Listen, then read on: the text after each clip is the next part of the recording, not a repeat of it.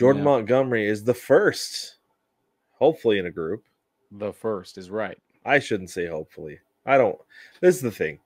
Jordan Montgomery fired Scott Boras as his agent, and we I say hopefully he's the first of a group. But Scott Boras is not good for baseball, No, he's not. not at all. And he's reached a point where he's not even good for his clients, Right. for his players, because Jordan Montgomery got into camp, got into camp late. Blake Snell has not been good early because he didn't get spring training at all. Bet you can't figure out why. Yeah. yeah, yeah. So Yeah. Jordan Montgomery fired Scott Boras, replaced him with the Wassermans, Joel Joel Wolfe, and Nick Chanock. This comes in the wake of what was a complete meltdown and mishandling of Montgomery's offseason and free agency. Like, I wouldn't be surprised if we see other guys part ways with him because, like, if I was Blake Snell, I'd be out yeah. absolutely out. Yeah. And who else was who else was part of the big Boras for this offseason? I can't think off the top of my head. I know JD. Martinez. Matt Chapman. I'd be upset if I was Matt Chapman too. I'd probably be walking away. And for Garrett sure. Cole's fine. He's he's got his long term deal. Cal Nothing's wrong. Raleigh, the Mariners catcher, is a Boras client. I would be Yeah. talking to Montgomery and be like, dude, what do I need to be on the lookout for going Yeah. forward? Because it's it, I don't know that we've ever had, at least not that I can remember, that we've had a catcher as a Boras client yet. Right? I can't think of anybody Not off the top of my head. I can look Yeah. really quick, but who's who's gone into free agency. Cal Raleigh has a couple more years before free agency, but he could be going like, "Yeah, Cal, you're a switch hitting catcher. Absolutely, you should be getting X amount for X years, right? X amount for Y years, whatever." But at the same time, teams are like, "Okay, those strikeout rates are really high, and you're way better on the left side than you are on the right side. So we don't want to give you X amount for Y years. We'll give you less." And then Boras gets in his ear and says, "No, you don't want that. You can get." And then we have the same situation, right?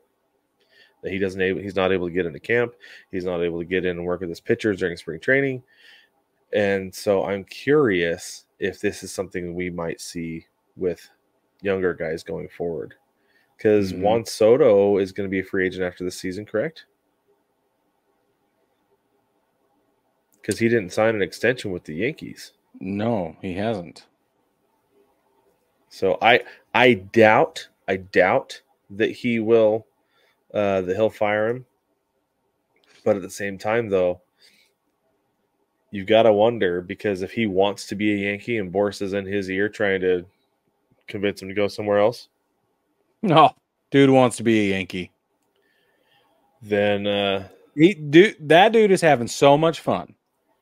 well he's good at baseball again. Of course he's having so much fun. He's good at baseball. The team is clicking. It's all good. He's very, very happy. And by the way, I'm looking up Scott Boras's previous catchers. So far, I see Jason Varitek and Pudge, okay. just two off the top of the search engine. Okay. So, But I don't- I don't remember them having a big like big free agency thing like what Boras makes a spectacle of it right now. I don't think they're the same. Because I don't think Varitek had that kind of situation. And maybe that's why Cal Raleigh will stick with Boras, is because Varitek is his hero. And so That's interesting. He could be like, Yeah, I want this guy to be my agent because he was my hero's agent. And maybe Varitek will tell him, like, no, it's worth it. So That's cool. I did not know that about Cal Raleigh. yeah, it, it that's part of the reason he's he'll never switch, he'll never stick to the left side of the plate. Hmm. He wants to be he'll he always wants to be a wanted to be a switch hitting catcher like Varitek. I'm gonna tell you something. Like as a Yankees fan, I got to watch a lot of Jason Varitek, and I just love that guy. I thought he was just such a great baseball player, such a great personality. Uh, it was it was fun to be upset that he was at the plate. You know, it was just fun to be, you know, to be bothered by him. And I just I haven't thought about Jason Varitek in a while. And yeah, I, I have fond memories hating him at some points, you know, but right. fond, Yeah. right? You respectfully. I I cheered for the the Red Sox in like the early 2000s, especially in 2004 because I call like I called it among my family and friends. I said beginning of the season, I said this is the year Red Sox win. yeah. And so I was cheering hard for him that year. and then um and so I got to be a really big Jason Varitek fan and my fandom and so I was cheering for the Red Sox there for a while. My Yeah. fandom for the Red Sox left with Jason Varitek. Yeah, that makes sense. So That makes sense.